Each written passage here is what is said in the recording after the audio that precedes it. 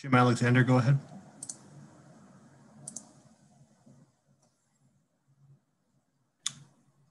Jim, you're muted. I thought I had unmuted myself. Sorry. Um, a night like this on your your final final home game in Pauley Pavilion, how emotional has it been tonight?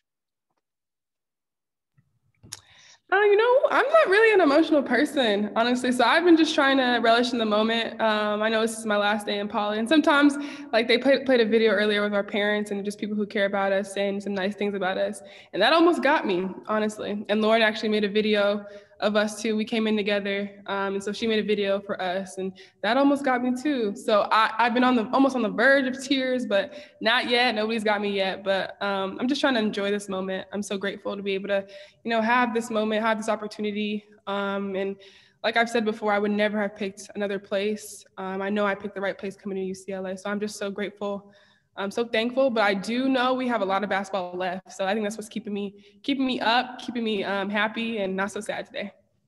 I saw that you were consoling Lauren on the sidelines there at the end.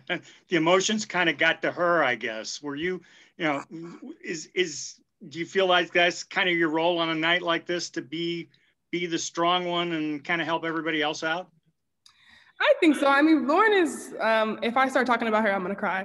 And so she's just been just a rock for me in college. And she's, it was emotional for her. Um, I think just, it's been a long four years and there's been some ups and downs for her. And so to get to where she's been, she's just grown so much as a person and as a player. And I'm just super proud of her growth. And so I think she's just realizing that, like, dang, like this has been a long time. And I've grown so much as a person, as a woman. And I'm going to miss these, I'm going to miss these moments. And so I think it definitely hit her. And I think it's my job as, as one of her best friends to come alongside her and make sure she's okay, but also let her relish in that moment um, of just being being nostalgic. So yeah. John, go ahead. Yeah, um, congrats on the win. Uh, you moved up to ninth all time in the all time scoring list at, at UCLA. What does it mean to you that you were able to to reach the top ten in, in such a big milestone?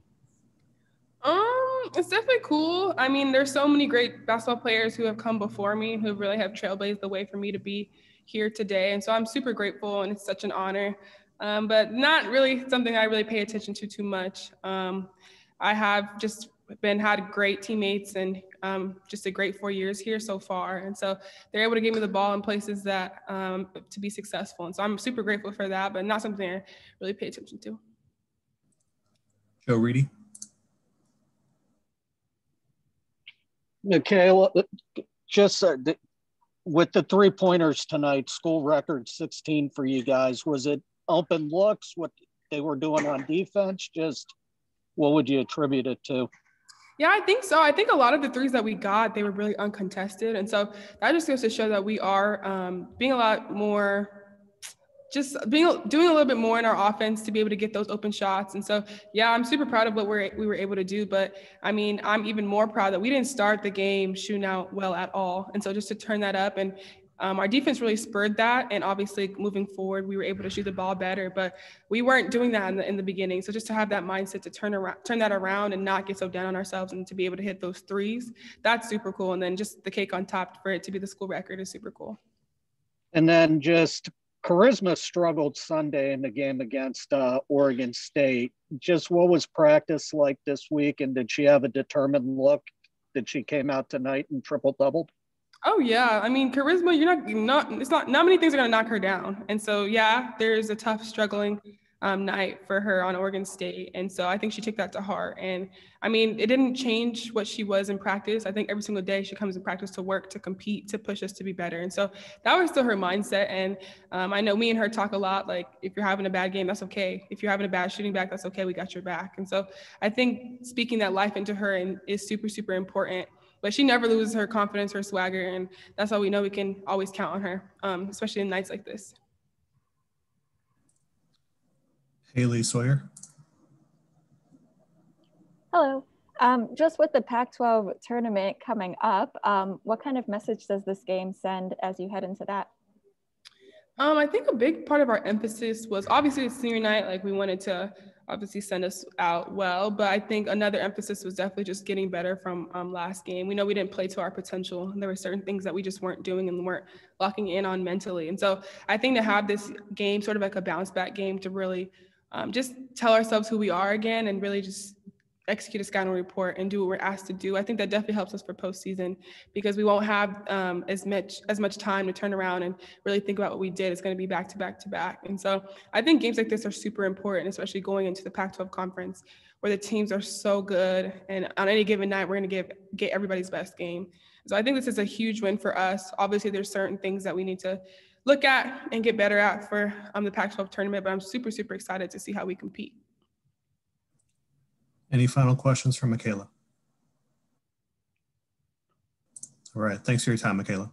Yeah, I just want to thank y'all for continuing to um, cover our games, every single game. Uh, I really appreciate you all so much.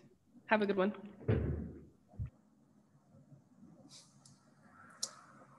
And we'll have Lauren Miller coming up next.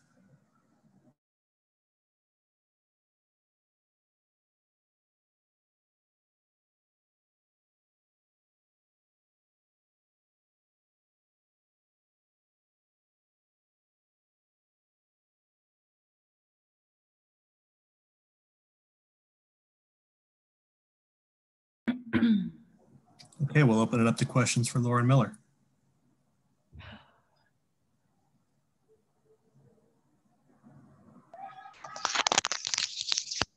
Lauren, um, how are you doing? First of all, you, you good? um, just um, one thing really quick. You guys do get kind of an early uh, early, well, a, free, a couple of free days basically. Do you think the rest going into the Pac-12 tournament is going to be good for you guys? Oh yeah, definitely. Even in years with the normal roster, um, that first round bye, and it definitely helps just with the preparation. Um, but yeah, the recovery will definitely be well welcomed. Yeah. What do you, um and then just as a follow up to that, the um you guys look kind of back to your quote unquote usual selves last night. How did you um take what happened Sunday and then turn it into so much encore chemistry and success tonight? Yeah, I think we really did a good watch the film and really look in the mirror, quite frankly, and we didn't really make excuses. We didn't point fingers, and we all just really took accountability for what we did poorly Sunday in our own individual performance. Um, and we focused on how we can get back to our own standards by ourselves and as a unit. And so I think that showed today. Thank you. Other questions for Lauren? Yep, Jim, go ahead. Yeah, Lauren, uh, you've been on this journey with Michaela. Uh, does she continue to surprise you? Um, I wish I could say yes, but I mean, not at all. Michaela is, I still don't think has really shown everything that she is and that she can do. Um, and so I'm just so excited. She truly is. There's just no ceiling to her game. Um, and so it's just been so fun to watch her blossom and to really, it's really just a matter of when she's confident enough to do something because everything's in the toolbox, everything, she's going to have the work ethic to obtain whatever isn't as sharp as needs to be. Um, so it truly is whatever Michaela wants to obtain, she's going to do. Whatever she wants to accomplish, she's going to accomplish. So it's, yeah, I wish I could say I'm surprised, but not in the least. Today was just a product of the work that she's put in each year. What's the best part of her game? Um, honestly, I, I would just say the consistency. And I, I don't even mean that in a, a scorer's way, but just the way that you know she's going to pursue rebounds. You know she's going to push the tempo. She's going to challenge offenses and even especially this year to see her ability to pass. And so, but there's just her consistency to do whatever it takes to get a win, whatever it takes for our team to be better. Um, I think that's that's a quality that all stars don't have. And she truly, I know people say it, she truly does not care about her own personal stat line. She gets all those rebounds because that's what we need. And so that's just what she's going to go out and do that night. But it truly is never about her. And because of that, she's able to achieve and just obtain so much more because she always wants to put the team first and do what we need. Thank you. Haley, go ahead. Hi. Um, just with all of the three point shooting, especially in that second quarter, just what was the excitement level of your team and what role did you play in distributing the ball? yeah, I think we obviously didn't shoot the ball as well as we wanted Sunday. Um, and so our guards, especially, I mean, they take that personal. And so it was definitely cool to see them. They wanted to correct that. They wanted to show like that the shooters that they are. Um, and so it's, I mean, it's always exciting when the ball's dropping like that, you can't complain. Um, and so I think it's definitely fun and just for them to move. And that's always our goal. We knew they were going to collapse. Um, and so we knew that the inside, as long as we attacked the basket hard enough and we got inside touches, that three was going to be open tonight. And so it was just, it was a hot night, that's for sure. Anything else for Lauren? All right. Thanks for your time, Lauren. Appreciate you. And we'll have our third senior, Lindsey Corsaro, coming up.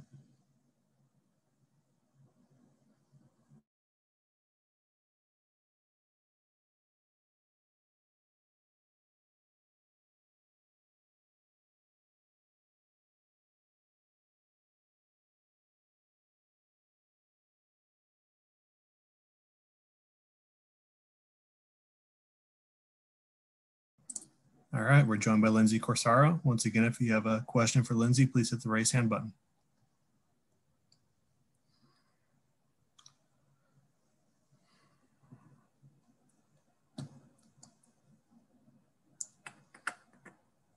Joe Reedy, go ahead.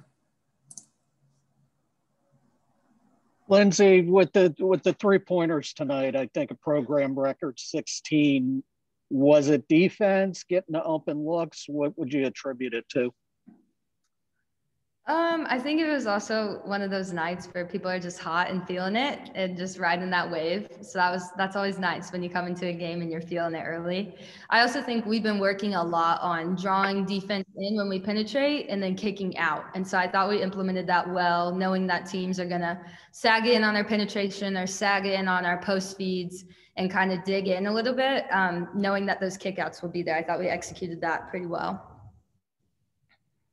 Kind of the perfect senior night. I mean, you beat USC by over 40 and school record in three pointers, and it just seemed like the perfect game. Yeah, it was definitely really fun and a really sweet way to go out for sure. Sue Favor.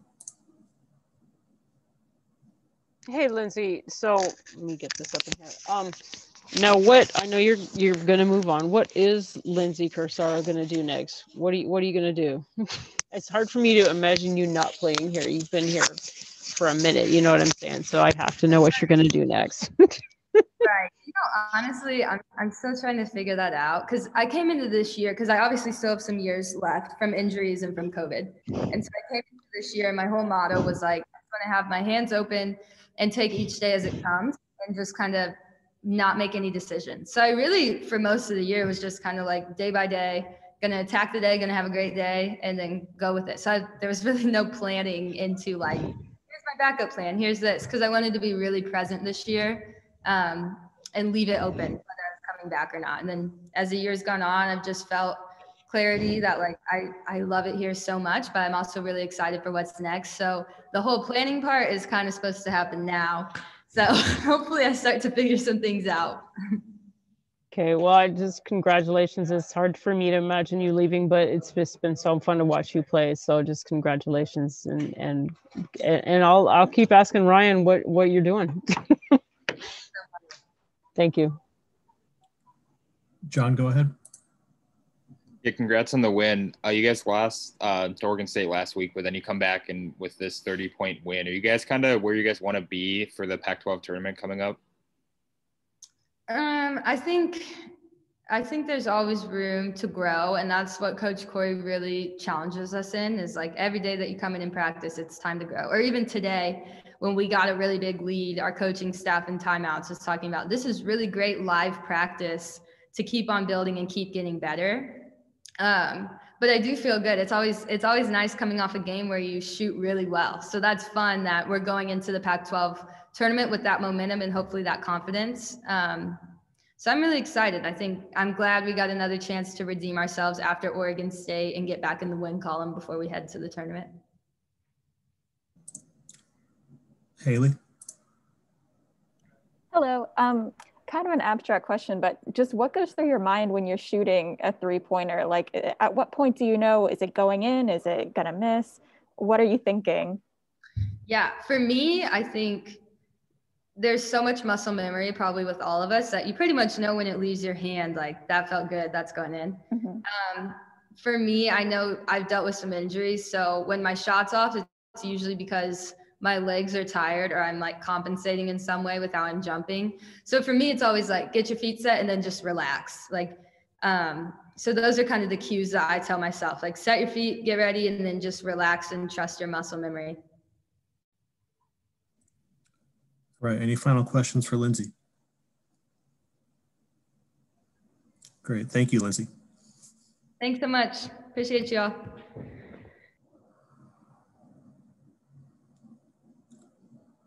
And we'll finish up here with head coach Cori Close.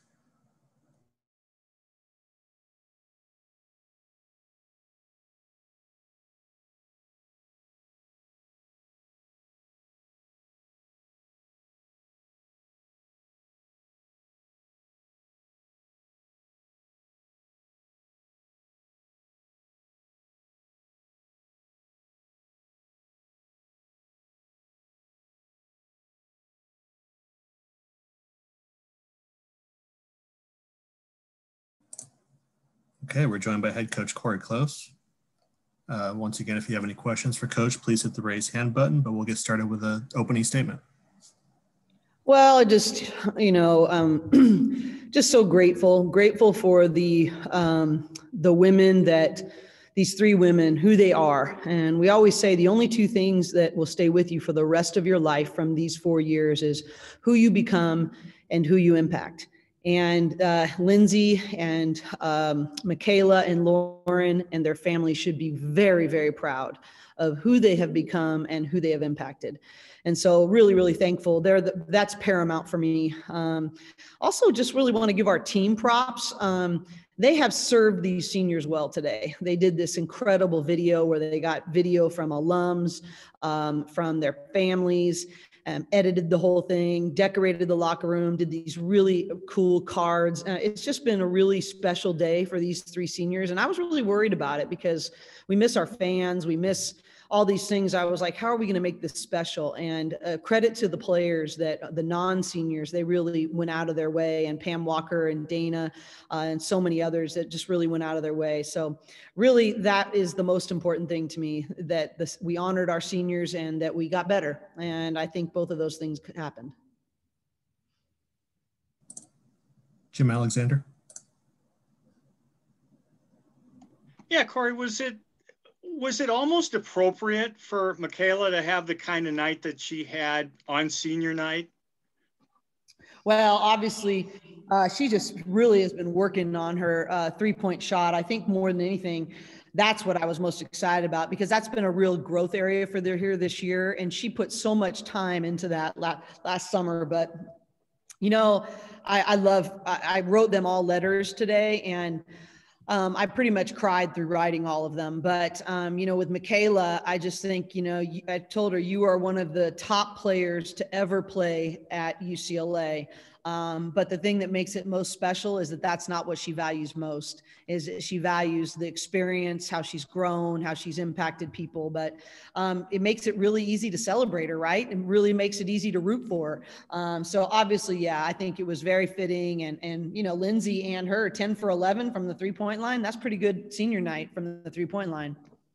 And obviously, you guys still have some work to do, but looking ahead what kind of what kind of player can Michaela be at the next level? I think Michaela is going to be a great player at the next level. Um, I don't. I think it is the hardest transition uh, to make is going from playing sort of a forward position in college to uh, facing the basket three player and doing most of your work from the wing or facing the basket or or off of pick and roll that way.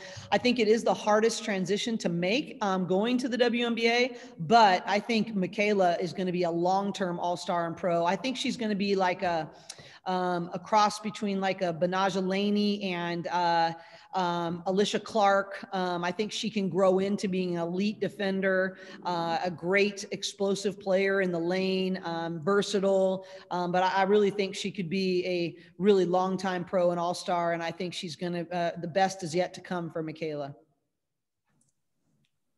Francis, go ahead.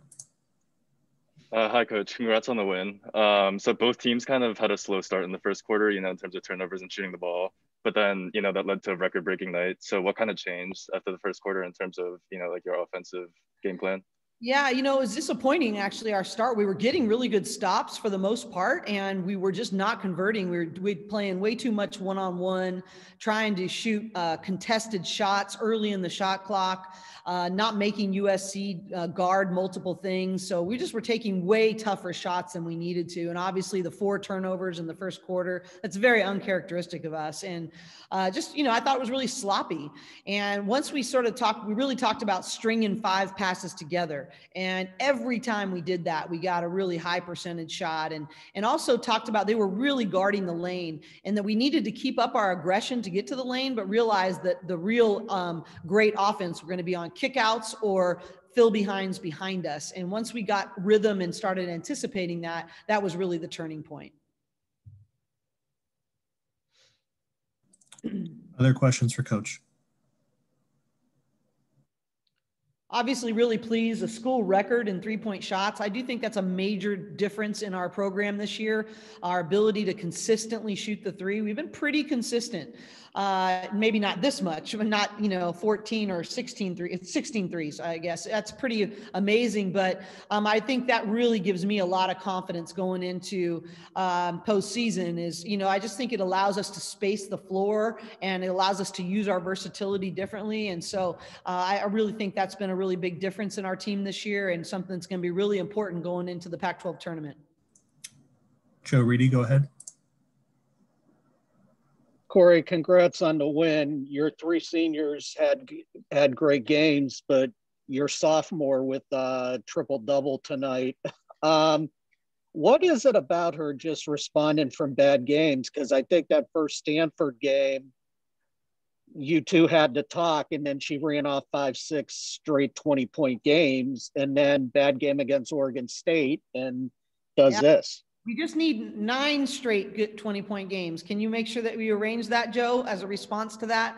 Um, you know, I think the reality is, is um, you know, for her, it's all about uh, her composure in her head. I think that's honestly what I was. I praised her for at halftime. I said, "Your your your decision making is so much better. Your composure is so much better.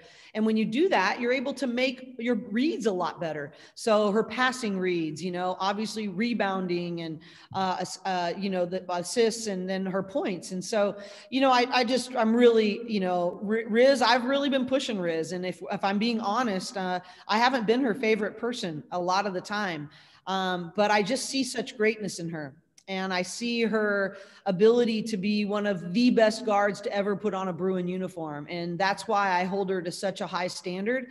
It's really because I love her so much and I believe in her so much, even though if you were to ask her, I probably have not been her favorite coach over the last couple of months. Was this almost a perfect senior night? I mean, you beat your crosstown rival by over 40 school record three pointers triple double, and then Michaela with the uh, 30 point game.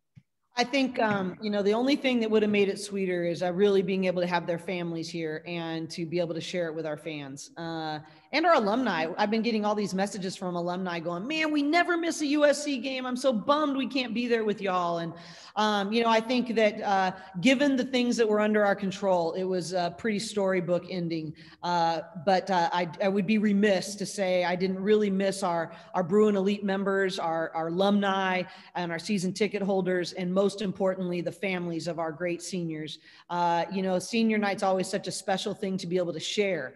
And so I wish we could have shared it differently, but for the things that went under our control, this was pretty neat. I, and I really, I said this after the game out on the court, but um, I really would be remiss if I didn't say thank you to the administration, to the ushers, to the stat crew, to the Pauley um, facilities staff, uh, to all of the people that worked so hard for us to be able to even able to have a season. There was a time when we didn't believe that uh, our county was even going to let us, and so many people had to work countless hours uh, and really do the work for us to be able to have a season and be able to compete in Pauley. And uh, I think they did a spectacular job, and I'm just really, really grateful uh, for the work that they put in.